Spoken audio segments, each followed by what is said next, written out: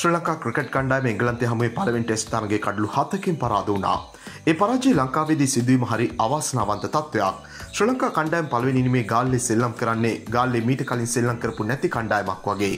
මේ විදිහට දකුණු අප්‍රිකාවේ අසාර්ථක වෙලා ඇවිල්ලා ශ්‍රී ලංකාවෙත් අසාර්ථක වීම පිළිබඳ සමාවක් දෙන්න බෑ කියලා තමයි ශ්‍රී ලංකා පුහුණුකරු මිකී ආතර් කියන්නේ. පළවෙනි ඉනිම ගැන නම් කතා කරලා වැඩක් නැහැ. ඇත්තට මේක නම් ගොඩක් නරක ප්‍රතිහාරභයක්. ඒ විදිහේ ක්‍රීඩා රටාවකට කොහොමවත් සමාවක් දෙන්න බෑ. මට පිවුණේ දකුණු අප්‍රිකාවේ තනතිලි කියලා හිතාගෙන තමයි මෙයාලා ගෙදර ඇවිල්ලත් සෙල්ලම් කළේ. ඒ වෙනස තේරුම් අරගෙන සෙල්ලම් කරන්න ඕනා. ලංකාවේ තනතිලිවල සෙල්ලම් කරන්න ඕන විදිය ඒ ඉවසීම ඒ තාක්ෂණය නැතුව සෙල්ලම් කරන්න බෑ. කොහොමුණත් ලොකු කඩාවැටීමකින් පස්සේ දෙවෙනි ඉනිමේ නැවතත් සටන්කාමී ඉනිමක් සෙල්ලම් කරපු එක ගැන ආතර සතුටින් කතා කරලා තිබුණා. දෙවෙනි ඉනිම බලද්දී අපේ ප්‍රතිකරුවන්ගේ ලොකු වෙනසක් තිබුණා. පළවෙනි ඉනිමෙන් පස්සේ ලොකු කතාබහක් එක්ක තමයි දෙවෙනි ඉනිමට ආවේ.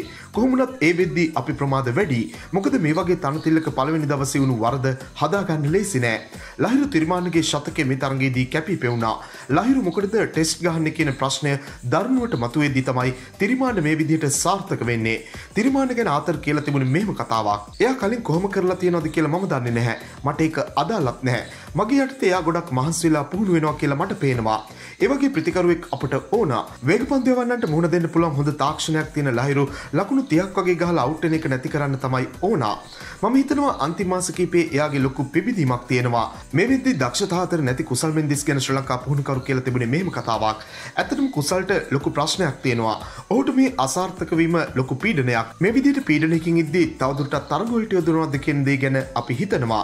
කොහොමුණත් කුසල් මෙන්දිස් කියන්නේ ලොකු දක්ෂතාවයක් තියෙන ක්‍රීඩකයෙක්. ඔහු ශ්‍රී ලංකාව වෙනුවෙන් අනාගතයේ විශාල ලකුණු ප්‍රමාණයක් ගන්න පුළුවන් කෙනෙක්. ඉතින් ඒ වගේ ක්‍රීඩකෙක් ආරක්ෂා කරගන්න එක අපි කරන්න ඕනා. මේ සාකච්ඡාවේදී ආතර් කියලා තිබුණේ තුන්ගිරියව ක්‍රීඩකයන් කණ්ඩායමට යොදවාගෙන සෙල්ලම් කරද්දී ලෝකයේ ඕනෑම තත්ත්වයක් යටතේ සෙල්ලම් කරන්න පුළුවන් විදිහට කණ්ඩායම හදාගන්න ලේසි කියලා. කොහොමුණත් ශ්‍රී ලංකාවේ තන්තිලිවල ධනංජිත සිල්ලා නැවත කණ්ඩායමට ආවම කණ්ඩායමේ ශක්තිය වැඩි වෙයි කියලා තමයි ආතර් කියලා තිබුණේ. මෙවැනි වීඩියෝ දිනපතා බලන්න අපත් සමග එකතු වන්න.